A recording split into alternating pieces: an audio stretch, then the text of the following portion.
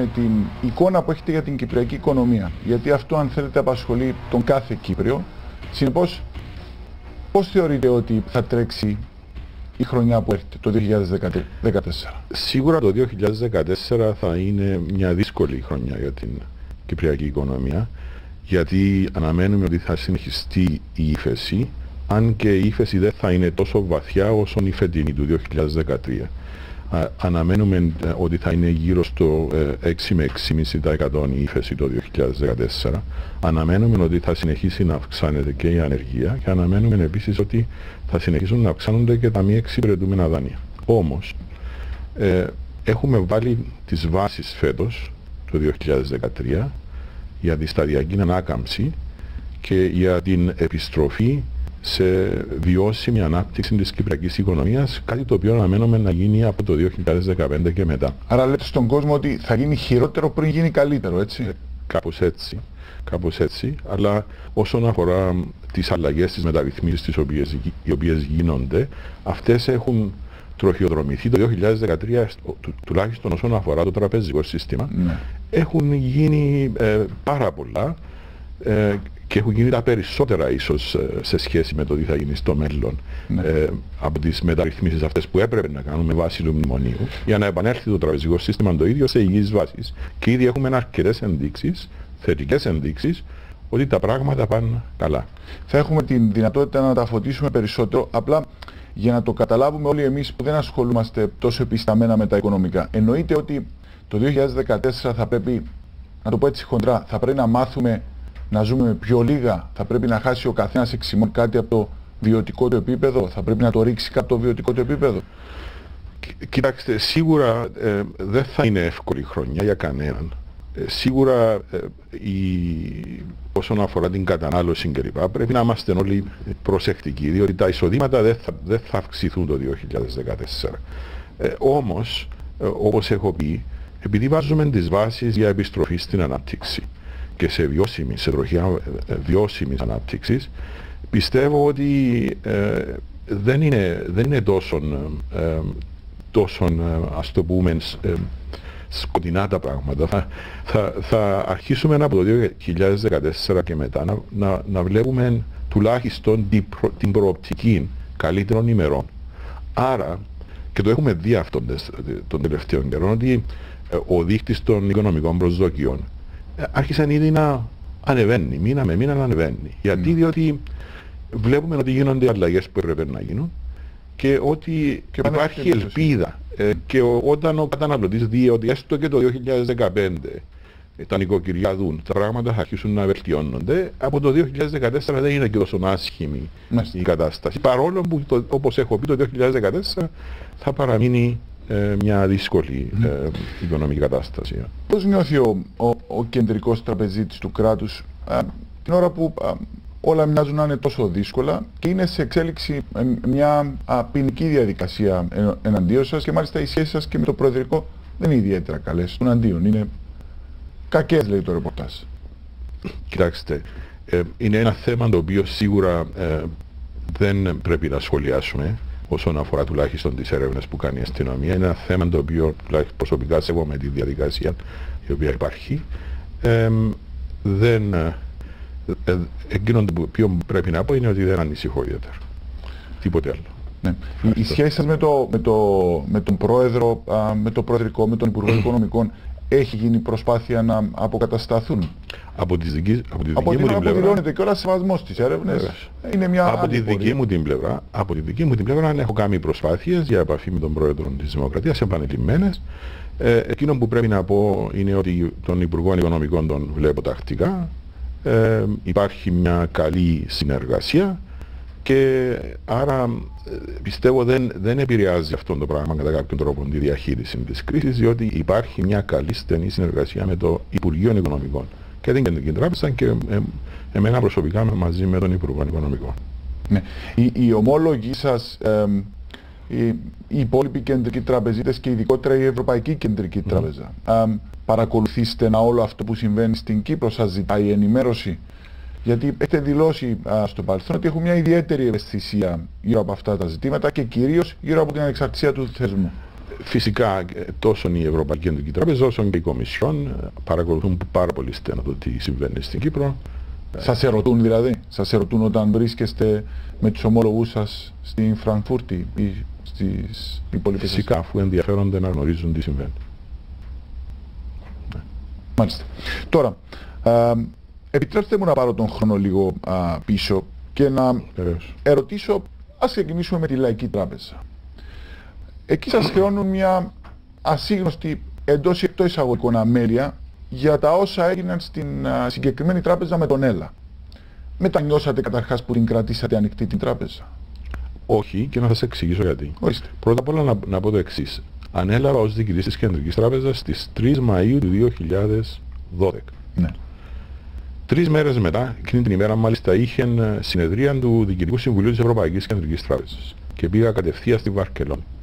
Μόλις επέστρεψαν στην Κύπρο, ήταν Κυριακή ημέρα, μπήκα σε αυτόν το γραφείο και μαζί μου πήγε και ο, ο κύριος Βάσος Σαρλί, ο Υπουργός Οικονομικών, ε, και ε, μετά από μισή ώρα έφτασε ο, ο τότε πρόεδρος της Λαϊκής Τράπεζας, Ο κύριος ο Σαρής. κύριος Σαρής μαζί με τον κύριο Στυλιανίδη που ήταν ο τότε ε, ε, ανώτερος εκτελεστικός διευθυντής της Λαϊκής Τράπεζας για να ζητήσουν κρατική στήριξη ουσιαστικά. Δηλαδή, ε, από πρώτο την ημέρα θέμα που, που έχετε ανέλαβα, αντιμέτωπος είναι η το Λαϊκή πρώτο Τράπεζα. θέμα που ανέλαβα ήταν η Λαϊκή Τράπεζα. Δε- δηλαδή, η, η Λαϊκή Τράπεζα είχε τα προβλήματα της πολύ πριν αναλάβω ως διοικητής της Κεντρικής Τράπεζας. Τώρα, οι επιλογές που είχαμε μπροστά μας ήταν πολύ περιορισμένες. Αντιλαμβάνεστε ότι πολλοί λένε ε, γιατί δεν κλείσατε τη Λαϊκή Τράπεζα. Αυτό δεν μπορούσε να γίνει. Πολύ μαζί και ο τέος πρόεδρος της Δημοκρατίας. Συμφωνώ. Το έχω ακούσει. Σας λέω ότι ε, σε αυτή εδώ την εκπομπή, δύο εβδομάδες προηγουμένως, είπε ότι σας ζήτησε να την κλείσετε κιόλας. Και του είπατε ότι αυτό θα ήταν καταστροφικό. Ε, ε, βεβαίως θα ήταν καταστροφικό. Ε, ε, Καταρχάς σας ζήτησε να την κλείσετε, το επιβεβαιώνετε αυτό. Κοιτάξτε, υπήρχε μια ε, τουλάχιστον ε, εκ μέρους του μια ερώτηση ας το πούμε. Αλλά δεν, δεν ήταν κάτι το οποίο μελε, τουλάχιστον μας ζήτησε να μελετήσουμε σε βάθος. Παρόλο που ε, του εξηγήσαμε και εγώ και τότε Υπουργός Οικονομικών ότι αυτό θα ήταν καταστροφικό, ολέθριο για την οικονομία. Διότι θα κατέρευε ολόκληρο το τραπεζικό σύστημα. Να σας το εξηγήσω γιατί να, να, να κλείσει κάποιος μια τράπεζα μπορεί να ακούεται εύκολο, αλλά δεν είναι. Είναι απλά, λέει κάποιος, θα χάσουν κάποιοι υπαλλήλοι τη δουλειά τους. Όχι, δεν είναι έτσι τα πράγματα. Δεν είναι μόνο αυτό, που είναι και αυτό τραγικό, 2.500 υπαλλήλοι να βρεθούν στους δρόμους, αλλά τι σημαίνει; Σημαίνει όλοι οι καταθέτες, όλοι, ανεξαιρέτως οι καταθέτες, χάνουν πρόσβαση στη ρευστότητα τους. Και αυτοί που έχουν 5.000 και αυτοί που έχουν 500 και αυτοί που έχουν 500.000. Όχι μόνο δηλαδή οι ανασφάλιστοι, αλλά και οι ασφαλισμένοι θεωρητικοί καταθέτες χάνουν πρόσβαση στη ρευστότητα. Ναι. Καλείται το κράτος να καλύψει τους ασφαλισμένους καταθέτες. Οι ασφαλισμένοι καταθέτες τότε της Λαϊκής Τράπεζας ήταν περίπου 7 δις. Το Ταμείο Προστασίας Καταθέσεως του κράτους είχε περίπου 100 με 120 εκατομμύρια. Άρα δεν μπορούσε το κράτος να καλύψει καν τους ασφαλισμένους καταθέτες. Και θα κέρδισε πτώχευση μου. Θα κήρυτε αμέσως στόχευση, άταχτη χρεοκοπία του κράτους. Και με όλα τα αρνητικά τα οποία συνεπάγεται αυτό το πράγμα. Επίσης, θα δημιουργεί τον αμέσως πάγκραν πάνω στις υπόλοιπες τράπεζες. Αυτό είναι και η έννοια της συστημικής τράπεζας. Διότι από τη στιγμή που πέφτει μια συστημική τράπεζα, επηρεάζεται το υπόλοιπο σύστημα. Διότι όλοι αυτοί που έχουν καταθέσεις σε αυτήν την τράπεζα έχουν, επηρεάζουν την υπόλοιπη οικονομία και η υπόλοιπη οικονομία επηρεάζει τις άλλες τράπεζες. Και θα ακολουθούσαν Διότι πια- θα- θα υπήρχε κα- έναν ντόμινος όπως τον effect. ντόμινο. Όπως τον ντόμινο θα έπεφτε. Επίσης να προσθέσω και κάτι άλλο. Και τα δάνεια. Όλοι αυτοί που είχαν δάνεια στη Λαϊκή Τράπεζα θα καλούνταν να τα αποπληρώσουν αμέσως από τον εκκαθαριστή της τράπεζας. Ποιος θα μπορούσε να κάνει αυτό το πράγμα; Ήταν καταστροφικό, ολέθριο για την οικονομία αυτό το πράγμα. Ωραία. Τότε έχετε μια σαφέστατη εικόνα μετά από μερικές μέρες της κατάστασης της τράπεζας, έτσι. Ναι, ναι. Ενημερώνετε κάποιον για αυτό που περιγράφετε. Ενημερώσατε, ας πούμε, τον πρόεδρο της Δημοκρατίας, τον, α, τους βουλευτές και κυρίως όταν ψήφιζαν οι βουλευτές κιόλας για να δώσουν αυτό το 1,8 ήξεραν ότι είναι μια τράπεζα που πάντως την κρατάμε στον αναπνευστήρα. Ε, κοιτάξτε, δεν ήταν τότε στον αναπνευστήρα. Απλά, εάν δεν έμπαινε η κρατική στήριξη τότε, Ναι. η οποία ήταν 1,8, τότε δεν θα μπορούσαμε και εμείς να συνεχίσουμε να δίνουμε ρευστοτική στήριξη, η LA δηλαδή στην τράπεζα. Ναι. Ε, πιστεύω ότι η Κεντρική Τράπεζα είχε, κάνει καλά τη δουλειά τους, ενημέρωσε ε, και τη Βουλή, αλλά σίγουρα και το Υπουργείο Οικονομικών, το οποίο ήταν πλήρως ενημερό φυσικά. Άρα, το, ακόμα... το Υπουργείο Οικονομικών ήταν πλήρως ενημερό για την κατάσταση της λαϊκής. Αλλά τώρα που ξέρετε όλη την ιστορία, εάν μπορούσατε να πάρετε τον χρόνο πίσω, πάλι η ίδια θα ήταν η απόφαση σας για τη Λαϊκή Τράπεζα. Για τότε ναι, αλλά εκείνο το οποίο έπρεπε να γίνει πιο ε, σύντομα ήταν να, να μπούμε σε πρόγραμμα στήριξης. Διότι έπρεπε να μπούμε στο μνημόνιο πιο ναι, νωρίς. Διότι, κοιτάξτε, από τη στιγμή που το κράτος έβαλε 1,8 δις στη Λαϊκή Τράπεζα, ε, για να έχουν αξία αυτά τα 1,8 δις, το κράτος έπρεπε το ίδιο να, να, να έχει και πρόσβαση στις αγορές. Από τη στιγμή που η, έχασε την πρόσβαση στις αγορές λόγω της υποβάθμισης που έκανε τότε η Fitch έπρεπε οπωσδήποτε να μπούμε σε πρόγραμμα και γι' αυτό οι δικές μας οι προσπάθειες ε, ήταν να πείσουμε την κυβέρνηση όπως και κάναμε για να κάνει αίτηση για πρόγραμμα και μετά για να συνεχίσει την διαδικασία. Σε αυτό εδώ ακριβώς να επανέλθω. Α, απλά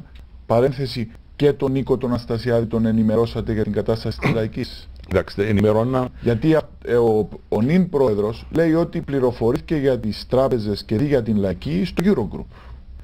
Ε, συγγνώμη. Ήταν ε, μία από ναι, τις σφαίρες που είχε μέσα το πιστόλι που του έβαλαν στον Κρόταφ. Κοιτάξτε, μόλις ανέλαβε ο, ο κ. Αναστασιάδης ως ε, πρόεδρος της Δημοκρατίας, ε, μας ζήτησε να υποβάλουμε γραπτόν υπόμνημα ε, για την κατάσταση του τραπεζικού συστήματος, το οποίο και κάναμε. Στις, ε, πιστεύω στις 3 Μαρτίου του δώσαμε το υπόμνημα μέσα στο οποίο του εξηγούσαμε τα πάντα και όσον αφορά το EA. Άρα όταν πήγαινε στο Eurogroup ναι, ήξερε τι ναι. τράπεζες είχε ο τόπος. Ε, ε, σίγουρα εμείς από την δική μας την πλευρά τον ενημερώσαμε πλήρως για την κατάσταση την οποία, στην οποία υπήρχε. Μάλιστα. Ε, Τώρα, μου λέτε για το α, μνημόνιο που α, καθυστέρησε να υπογράψει ο τότε πρόεδρος ναι, Δημήτρης Χριστόφιας. Ναι. Ε, ο ίδιος ισχυρίζεται ότι πάντως το υπέγραψε και ε, ήταν μάλιστα λέει και ε, βελούδινο μνημόνιο. Ήταν το πιο βελούδινο μνημόνιο από όσες χώρες έχουν μπει στον μηχανισμό στήριξης. Εσείς λέτε ότι καθυστέρησε πάντως. Ε, κοιτά, από τον Ιούλιο μέχρι τον Νοέμβριο. Αυτή είναι η περίοδος που ναι. την καθυστέρηση. Από τον Ιούλιο. Και ήταν δραματική αυτή η καθυστέρηση των 6 μηνών. Ε, κοιτάξτε, στην, στην πράξη, δε, εκ των υστέρων μπορούμε να είμαστε όλοι πολύ σοφοί. Ε, ήταν, δραματι, ήταν δραματική όχι. Εκείνο το οποίο έγινε σίγουρα ήταν ότι Μέχρι τον Νοέμβριο που κατάληξε η δική μας η κυβέρνηση να συμφωνήσει με την Τρόικα, οι Ευρωπαίοι είπαν, αρχίσαν να λένε θα περιμένουμε την επόμενη κυβέρνηση. Ο, ο κ. Σόιμπλε το είπε αυτόν από τον, από το τέλος Νοεμβρίου. Δεν θα υπογράψουμε με την, αυτή την κυβέρνηση. Το Eurogroup στις τον Ιανουάριο, 21 Ιανουαρίου του 2013, απεφάσισε, και αυτή η απόφαση είναι και ε, ε, ε, δημοσιοποιήθηκε, ότι θα περιμένουν τη νέα κυβέρνηση για να γίνει πρόγραμμα, ούτως ώστε να έχει ιδιοκτησία του προγράμματος η νέα κυβέρνηση. Και το είπαν αυτό το πράγμα και είναι μάλιστα μπορεί να το βρει κάποιος πάνω στην ιστοσελίδα της Ορλανδική κυβέρνησης. Παρόλο που, τα, που οι αποφάσει του Eurogroup υποτίθεται δεν. Άρα, εσείς όταν λέτε ότι κρατήσατε το πρόβλημα ή τα προβλήματα κάτω από το χαλί μέχρι να τελειώσουν οι εκλογές, τι ακριβώς εννοείτε; Δε, δεν κρατήσαμε κανένα πρόβλημα κάτω από το χαλί. Γιατί ξέρετε, κρατήσαμε... η δήλωσή σας ερμηνεύτηκε επικοινωτό. Ναι, σίγουρα κάνει κάποιες δηλώσεις και ο καθένας ερμηνεύει με τον τρόπο τον οποίο τον, τον, ναι. το, το, το, βολεύει. Δεν, αλλά δεν ουδέποτε είπαμε έτσι πράγμα ότι κρατήσαμε κάτω από το χολί. Καλή είναι το πρόβλημα. Το πρόβλημα ήταν εκεί και συνεχώς ε, ενθαρρύναμε και πιέζαμε ε, προς την κατεύθυνση να υπάρχει πρόγραμμα. Δηλαδή το πρόγραμμα σημαίνει ότι υπάρχει αυτό το backstop όπως ονομάζουμε, η, η κυβέρνηση τουλάχιστον το κράτος μένει σε μια τροχιά όπου, όπου τα δημοσιονομικά γίνονται βιώσιμα, άρα και η, η, η κρατική στήριξη μιας τράπεζας έχει, έχει αξία, mm. ουσιαστική αξία. Δεν μπορεί να την αφισβητήσει